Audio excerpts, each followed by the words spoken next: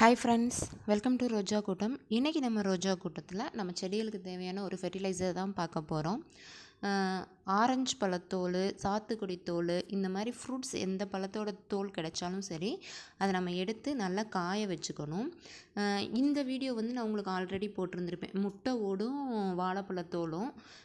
வாழைப்பழத்தோல் வந்து நல்லா நம்மளுக்கு கிடைக்க கிடைக்க வந்து நம்ம நல்லா நிழல்ல ந- நிழல்லவே உலர்த்தி காய வச்சு எடுத்துக்கணும்.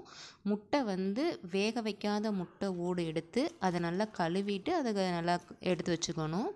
ஏன்னா இல்லாட்டி எறும்பு வந்துடும் அதனால் நல்லா காய வச்சதுக்கப்புறமா ரெண்டையும் மிக்ஸ் பண்ணி அரைச்சிக்க போகிறோம் ஃபஸ்ட்டு வந்து முட்டை ஓடு போட்டு அரைச்சிக்க போகிறேன் மிக்சியில் தான் போட்டு அரைச்சிக்க போகிறோம் மிக்ஸி இதனால் வந்து எந்த ரிப்பேரும் ஆகாது ஒன்றும் செய்யாது. நான் வந்து அடிக்கடி அரைச்சிருக்கேன். இது வரைக்கும் ரிப்பேர் ஆகலை. நல்லா தான் இருக்குது முட்டை ஓடெல்லாம் போட்டுட்டு நல்லா நைஸாக பொடி பண்ணி எடுத்துக்கணும். ரொம்ப நைஸாக தேவையில்ல. கொஞ்சம் குறை குறைன்னு இருந்தாலும் சரி தான் நம்ம உரமாக தானே போட போகிறோம் முழுசாக போட போகிறதுக்கு இப்படி போட்டோம் அப்படின்னா கொஞ்சம் சீக்கிரமாக அதோடய சத்து வந்து நம்ம செடிகளுக்கு கிடைக்கும். முழுசாக போட்டோம்னா எறும்பு வரும் பூச்சி தொல்லைகள் இருக்கும். இந்த மாதிரி நம்ம நுணுக்கி போட்டோம் அப்படின்னம்னா அந்த பூச்சி தொல்லை எறும்பு தொல்லைலாம் இல்லாமல் இருக்கும் அப்படின்றதுக்காண்டி நுணுக்கி போடுறது தான் வாழைப்பழத்தை வந்து நான் அப்படியே முழுசு முழுசாக போட்டுட்டேன். ஒரு சிலது நான் போட்டிருந்தேன் அப்படின்னா கட் பண்ணி போட்டிருந்துருப்பேன். பசங்க கொண்டு போய் அந்த காய வச்சிருக்க இடத்துல போட்டதுனால அப்படியே முழுசு முழுசாக தூக்கி போட்டிருப்பாங்க. பட் அப்படி போட்டோம்னா அரைக்கிறப்ப கொஞ்சம் கஷ்டமாக இருக்கிற மாதிரி இருக்கும். ஸோ வாழைப்பழத்தோலை காய வைக்கும் போதே நம்ம ஈஸியாக சின்ன சின்னதாக கட் பிச்சு போட்டுட்டோம் அப்படின்னோம்னா அரைக்கும் போது கொஞ்சம் ஈஸியாக இருக்கும். இப்போ நான் வந்து நம்ம முழுசாக இருந்தனால தான் கொஞ்சம் அதிகமான சக்க சக்கையாக தெரியுது.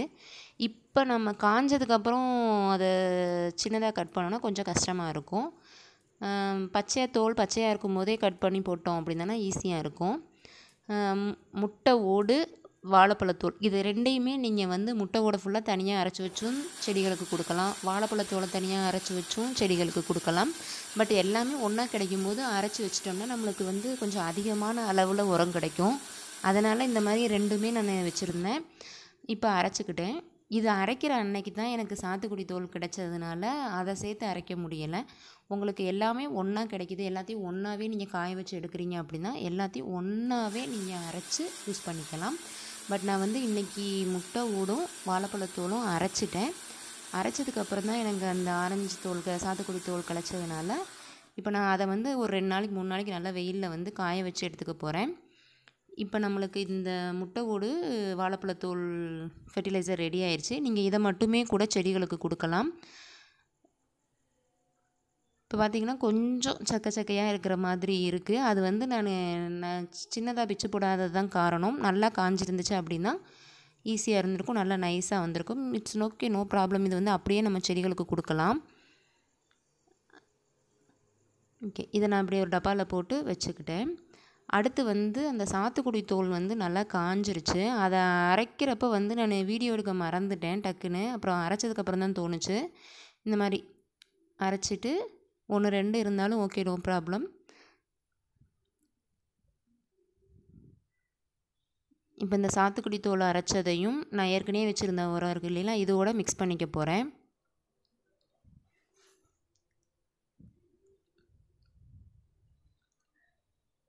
தனித்தனியாகவும் இது பண்ணலாம். ஆனால் இது எல்லாத்தையும் ஒன்றா வச்சுக்கும் போது கொஞ்சம் எஃபெக்டிவ் அதிகமாக இருக்கும் உங்களுக்கு. நல்ல ரிசல்ட் கிடைக்கும்.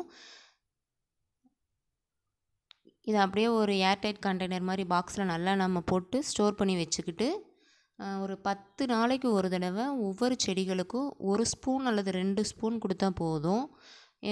நிறையா செடி வச்சுருக்கீங்க அப்படின்னா உங்களுக்கு நீங்கள் உத ஒரே தடவை யூஸ் பண்ணிடலாம் கொஞ்சம் ஒரு செடி ரெண்டு செடி தான் வச்சுருக்கோம் அப்படின்னா நீங்கள் அப்பப்போ கொஞ்சம் கொஞ்சமாக செடிகளுக்கு கொடுத்துக்கலாம். நல்ல ரிசல்ட் கிடைக்கும். இப்போ நம்ம இது எல்லாத்தையும் நல்லா மிக்ஸ் பண்ணியாச்சு. இப்போ இதை நம்ம செடிகளுக்கு கொடுக்க போகிறோம் ரோஸ் செடின்னு கிடையாது. நீங்கள் எந்த வகையான பூச்செடி இல்லை காய்கறி செடி எல்லாத்துக்குமே நீங்கள் இதை யூஸ் பண்ணலாம். நல்ல உரம் இது. வீட்லேயே ஈஸியாக செய்யக்கூடியது. ரோஸ் செடியில் வந்து நீங்கள் உங்கள் இந்த உரம் ஒரு தடவை வச்சிங்க அப்படின்னா ஒரு ஒரு வாரத்துலேயே உங்களுக்கு நல்ல ரிசல்ட் தெரியும். செடியில் வந்து நிறைய மொட்டுக்கள் வர மாதிரி இருக்கும். நிறைய கிளைகள் வந்து வந்திருக்கும். அது மாதிரி இந்த மாதிரி உரங்கள் கொடுக்கும்போது வந்து நிறைய தண்ணி ஊற்றிடக்கூடாது மண்ணை வந்து லேசாக கிளறி விட்டுட்டு அதுக்குள்ளே ஒரு ஸ்பூன் இல்லைன்னா ரெண்டு ஸ்பூன். அவ்வளோ கொடுத்தாவே போதும் தான் இப்போ பாருங்கள் நான் லேசாக மண்ணை கிளறி விட்டுட்டு ரெண்டு ஸ்பூன் ஒன்றரை ஸ்பூன் கிட்ட தான் கொடுத்துருக்கேன்.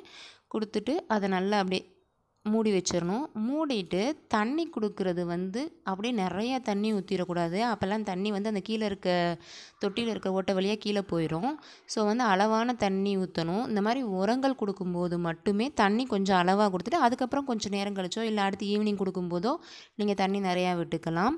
நான் இப்போ எல்லா செடிகளுக்குமே இந்த மாதிரி உரத்தை போட்டுக்க போகிறேன்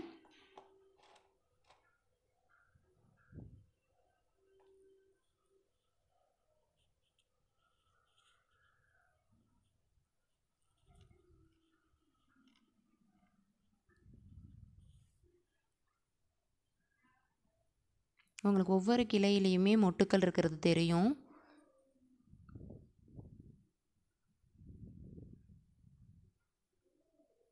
இப்போது தண்ணி. அளவாக ஒரு கப் அல்லது ரெண்டு கப்பு தான். தண்ணி வந்து கீழே போகாமல் அளவாக ஊற்றிக்கணும் ஓகே. இந்த அளவுக்கு இருந்தாவே போதும் தான் திருப்பி நம்ம இப்போ நான் ஈவினிங் டைம் கொடுத்துக்கிட்டு இருக்கேன் மார்னிங் கொடுக்குறப்ப கொஞ்சம் தண்ணி நிறையா விட்டுக்கலாம். அதனால் ஒன்றும் பிரச்சனை கிடையாது. உரம் வச்ச உடனே நிறையா தண்ணி ஊற்றினோம்னா உடனே வந்து அந்த ஹோல்ஸ் வழியாக தண்ணி நிறையா போயிடும் இதுக்கு முன்னாடி வீடியோவில் வந்து நம்ம உருளைக்கிழங்கு வச்சுருந்தோம் இல்லைங்களா? அதோடய அப்டேட் சொல்கிறேன்னு சொல்லியிருந்தேன். நியர்லி ஒன் வீக் இருக்கும் இப்போ நான் வச்சேன். அந்த உருளைக்கிழங்கோட வளர்ச்சி பாருங்கள் எப்படி இருக்குன்னு பார்க்கவே ரொம்ப ஆச்சரியமாக இருந்துச்சு. ஏன்னா ஃபஸ்ட் டைம் உருளைக்கிழங்கு வைக்கிறோம் எப்படி இருக்குமோ அப்படின்னு நினச்சேன்.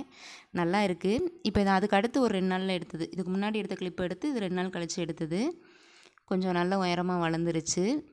பார்ப்போம் ரிசல்ட் எப்படி இருக்குன்னு தெரில இப்போ அதிகமான இது வந்திருக்கு லீவ்ஸ் நிறையா வந்திருக்கு. இன்னமும் வந்துக்கிட்டே வேறு இருக்குது அங்கங்கே வந்துக்கிட்டே இருக்குது ரெண்டு உருளைக்கிழங்கு தான் வச்சேன். பார்ப்போம் என்ன வருதுன்னு.